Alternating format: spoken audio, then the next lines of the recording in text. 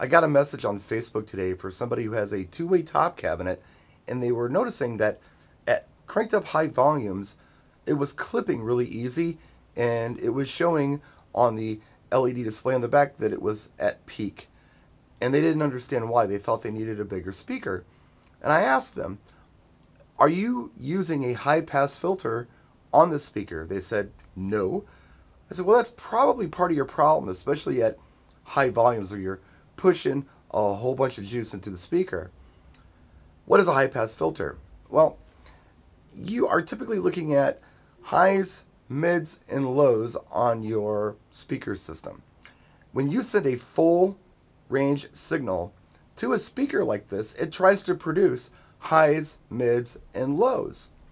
It doesn't do a great job at that super low stuff, meaning the sub bass. It's not a subwoofer, it's a top cab.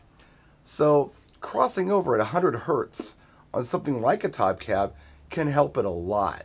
That means that none of the sub bass is being sent to a top cab like this. It's only receiving everything 100 hertz and above, like the mid bass, the high mids, and the highs, which is what this speaker does very well. Think of it like this.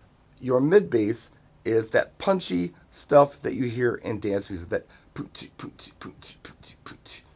that's cool bass. And this cabinet produces it very well. But then you have your sub bass that's like doom, doom, doom, doom, doom, doom, doom, doom, doom. That's produced best by a subwoofer.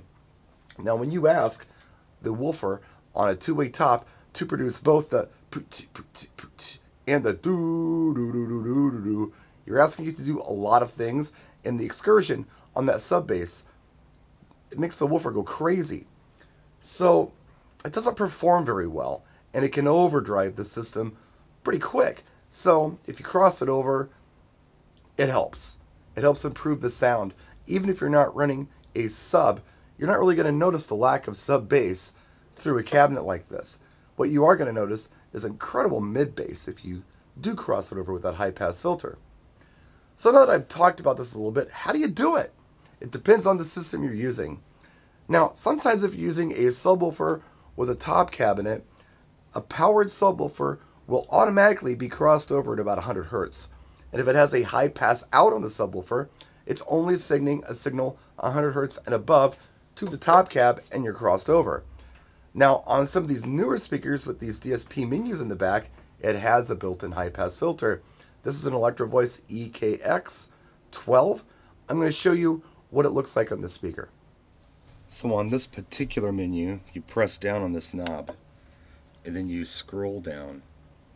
On this speaker, it's represented as sub, and I think that's just to make life easier for laymen's like me. You can see sub is off.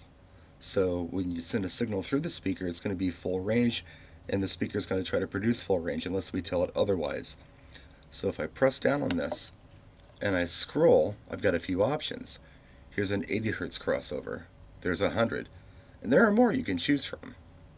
And you can even select some specialty subs that you may have from Electro Voice just to make it real easy so it's optimum for whatever the sub you have is or crossed over at an optimum level. But for our purposes today, we're just going to do what we talked about. And we're going to cross over at 100 Hertz. Now, when we send a full range signal to the speaker, it's only going to produce frequencies 100 hertz and above. So what if you have a system where you have a subwoofer with a high pass filter and you have a top cabinet with a high pass filter? Which one do you run? They're redundant. You don't have to run both, but you can. It's not going to hurt anything.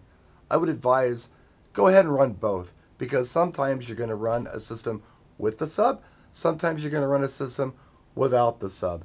And when you're running it without the sub, if you have the ability to do that 100 hertz crossover on your top cabinet, do it. It's going to help. So I hope this video helps somebody. Remember, every system is going to be a little different.